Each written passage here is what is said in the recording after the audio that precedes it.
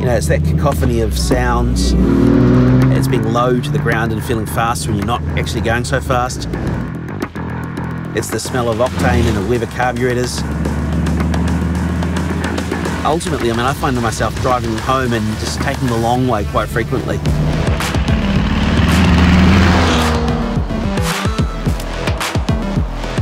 My name's Aidan Clarke.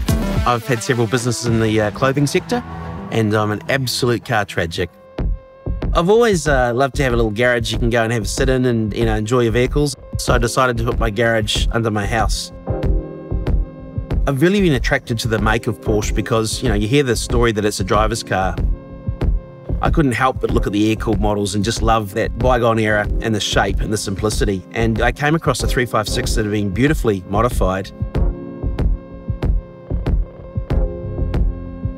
The 356 that I have is crazy. It's uh, it's running you know disc brakes and it's lowered and it's running modern GT3 seats. It's running a Bernie Bergman VW 2.3 litre race engine that's probably good for about 200 horsepower. So yeah, like a lot of things that uh, I've been involved with, which is not exactly standard.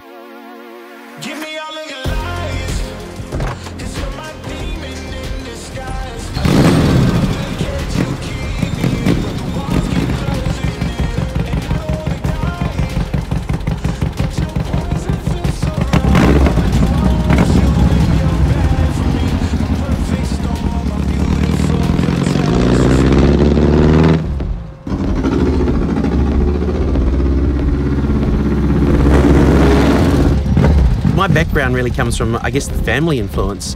Mum and dad were selling clothing at a market in New Zealand when I was a young kid in the 70s. And ultimately, even though I thought I'd end up in other industries, I gravitated to clothing. And my first foray into my own businesses were a sports brand, 2XU, and then more recently, a workwear motorcycle brand.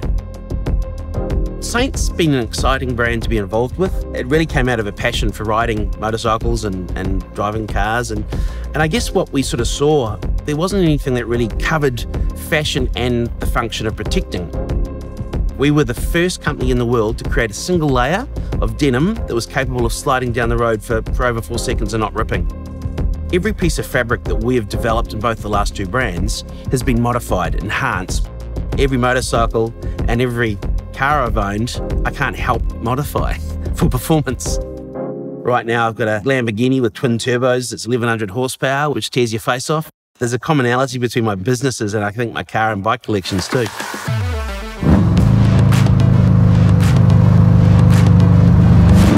So she's obnoxiously loud. She's uh, pretty quick off the mark and very, very uh, enjoyable to drive. I joke that I get out of that car with a clone of uh, 98 octane. She is air cooled, you know, she can get hot on a long journey. This engine in particular is, is pretty bulletproof. She revs beautifully. I guess the only thing is, is she probably runs out of gears. With the original four-speed 356 box in her, she's sort of running out of gears at about 120k, and that's usually plenty fast enough. Gorgeous car, but she has her idiosyncrasies. You know, I, I, know exactly when she's ready to go and catch her with a little rev of the engine. Um, you know, this is the neat thing about old cars. You get to know them. I can feel the way through the little notchy gearbox when I need to without uh, hitting a synchro or, you know, uh, having to double the clutch. It's one of those vehicles that, um, for me, I, I love driving it. I have no problems changing gears and enjoying it, but she's usually a handful when I give the keys to one of my friends. I've been quite blown away with how she sits so flat and gets around a corner. And certainly uh, in the wet, you've got to make sure you grab a little bit of opposite lock from time to time. But in the dry, quite an amazing little car to go and enjoy in the hills. We're lucky enough around Melbourne to have a few twisty roads that uh, I might go up and down from time to time. Most of the cars that I've bought, I've enjoyed for several years and then sold, but uh, this Outlaw here, I've had this 356 for 11 years, and I don't think I'm ever going to sell it. I think that uh, a secret to success is definitely an absolute stubbornness and tenacity. I think, you know, my latest brand, Saint, has a tagline unbreakable. And quite honestly, I feel that's kind of a, a tagline for my life. You've got to take what comes at you.